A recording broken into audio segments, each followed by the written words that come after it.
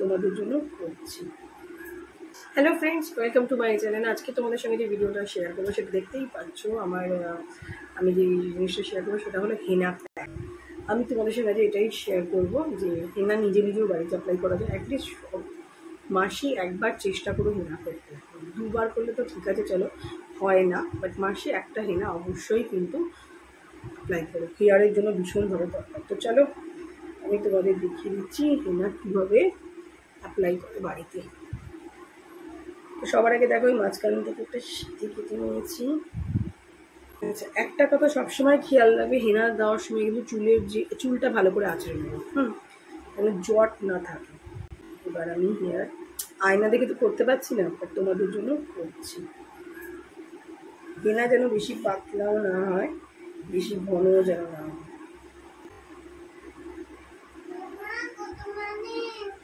Good morning বেটা বুঝতে পারছ? মাম ঘুম থেকে উঠে যাবে বলল গুড মর্নিং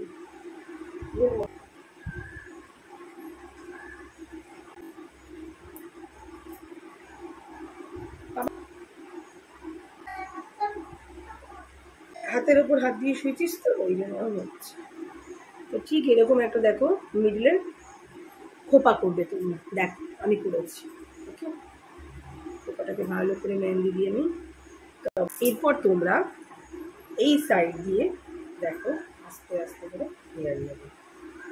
আগে এই পাশটা নাও, তারপর বলছি।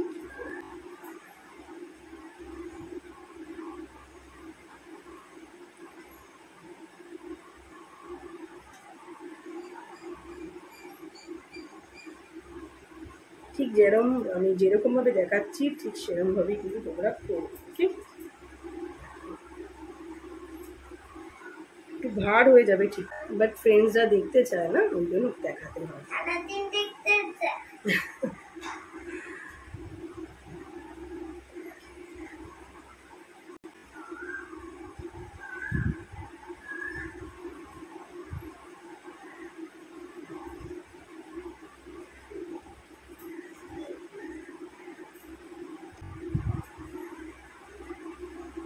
হয়ে গেছে এবার আমি সামনের চুলটা নিলাম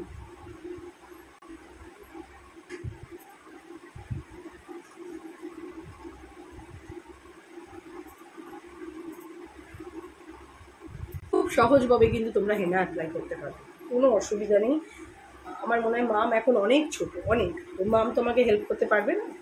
কিন্তু তোমরা নিজেরাই হেনা বাড়িতে দিতে পারবে। একটু ভালো ব্র্যান্ডেড হেনা নিও।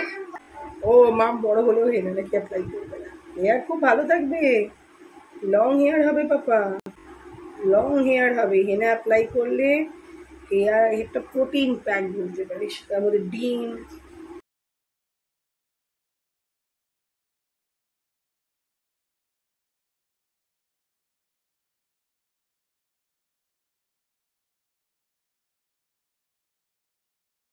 আমরা মিডিলে একটা খোপা করব। একদম একদম এই মিডিলটায় খোপাটা হবে, একটু ভার হবে। তোমাদের হাতে সময় থাকলে দু ঘণ্টা রাখতে পারো বাট চেষ্টা করো অ্যাটলিস্ট এক ঘণ্টার উপরে রাখা। কালারটা ভালো আসবে, ঠিক আছে? আর যদি ভীষণ কালার চাও, তাহলে আমি বলব এর মধ্যে ফ্রেন্ডস হাফ চামচের মতন কফি অ্যাড করো। কফি দিলে কিন্তু ভীষণ একটা সুন্দর কালার আসে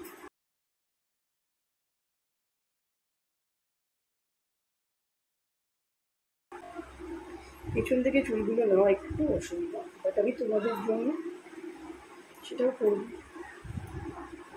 আচ্ছা হেনা যখনই ভেজাবে ফ্রেন্ডস হয় কাঁচের বাটি, না হলে চীনা মাটির বাটি, আর না হলে কোনো পুরনো লোহার বাটি, ঠিক আছে? প্লাস্টিকের বাটিতে কিছুতে ভেজিও ঠিক আছে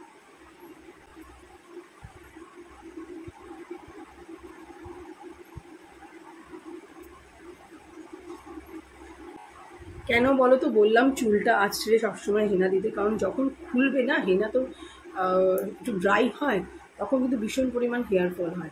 তাহলে চুলটা আছড়ে ভালো করে মেডলে করবে, একটা একটা করে খুলবে, যেই জল পড়বে, সঙ্গে সঙ্গে হেনাগুলো নিভে যাবে। আমি পার্ট বাই পার্ট তোমাদের কিন্তু দেখাচ্ছি ফ্রেন্ডস বলে ফেলো।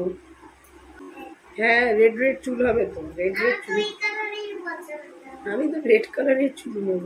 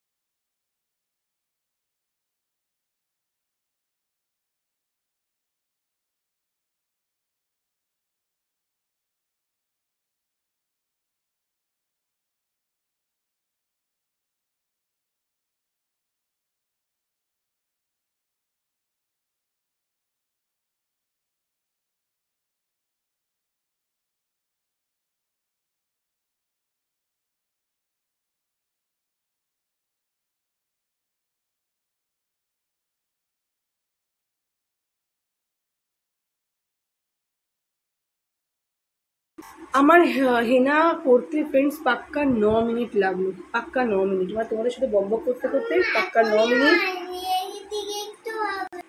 তো ফ্রেন্ডস এটা আমি তিন ঘণ্টা আমার মাথায় রাখব, তারপর তোমাদের সাথে এসে মানে হেয়ারটা ওয়াশ করে এসে তারপর তোমাদের দেখাবো। তো ফ্রেন্ডস আমি হেয়ারটা পুরো ওয়াশ করে এসেছি, আর তোমরা দেখতেই পাচ্ছ, আমি কিন্তু কোনো শ্যাম্পু কন্ডিশনার কিচ্ছু ইউজ করিনি। অনেকেই বলে হেনা করার পর নাকি ভীষণ হেয়ার ড্রাই হয়ে যায়। না জাস্ট তোমরা যেদিনকে শ্যাম্পু করবে, কেউ পারলে একটু হালকা অয়েল ম্যাসাজ করে নিও। আর যদি ইচ্ছে না হয়, করো না বাট প্লিজ যেদিনকে হেনা করবে, সেদিনকে কিন্তু শ্যাম্পু ইউজ করো না। হেনার তো একটা নিজস্ব কালার আছে, সেটা খুব দরকার। সেদিনকে শ্যাম্পু করো না, যেদিন হেনা করবে। হেনা করার ঠিক পরের দিন শ্যাম্পু করবে। এই তো ছিল ফ্রেন্ডস আজকে হেনা বাড়িতে তোমরা কীভাবে অ্যাপ্লাই করবে? নিজে নিজেও হেনা করা যায়, কোনো অসম্ভব কিছু না। চেষ্টা থাকলে সব উপায় হয়। নিজে নিজেও হেনা করা যায়। চুলের যত্ন অবশ্যই করা উচিত। স্কিনের সাথে সাথে আমার মনে হয় হেয়ারেরও যত্নটা ভীষণ দরকার। তো আজকের ভিডিওটা যদি তোমাদের ভালো লাগে ফ্রেন্ডস ভিডিওটাকে লাইক করতে একদম ভুলো না। নেক্সট ভিডিও নিয়ে খুব তাড়াতাড়ি তোমাদের সাথে দেখা হবে। ভালো থেকো, সুস্থ থেকো, আর আমাদের ভিডিও দেখতে থেকো। চলো ফ্রেন্ডস টাটা।